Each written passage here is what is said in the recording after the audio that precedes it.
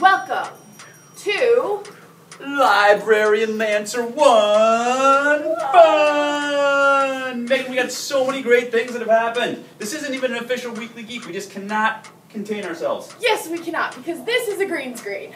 Right behind us. And behind us, we've got great things that have been happening over the course of the year. And this is kind of our summer vacation right back here. This is Tahiti when Megan and I were in Tahiti. Oh, yes. And uh, this is us uh, swimming with the sharks and stuff like that. It was Yeah. a great summer. It was. It was an awesome summer. We have some changes. We have a few changes that we want to talk about. First of all, staff.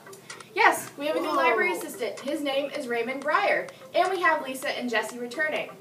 And a new head librarian. That's me! You got it, right there.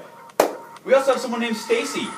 Cece, the standing table of art, collaboration, and something else. And yippee yippee yahoo! Give me five.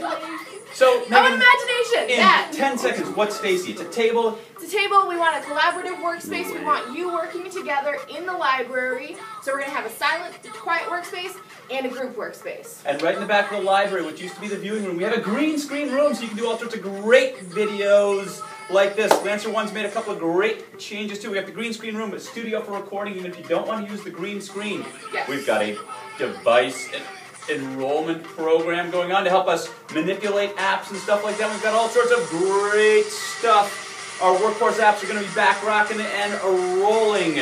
We've got new cases. We've got gamification.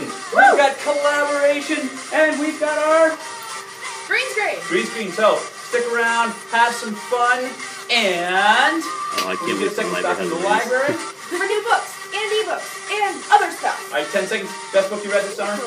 Oh! Go first. Ah, it's the one about the World War II guy. Un, Unbroken. Unbroken. Was awesome. I read like 30 good books, so I'll get back to All you. right, one of them. One good book. Ah, Recommendation. you got five seconds to run out of time? That's it. Ah, jump off screen. Ready? One, two, three, jump.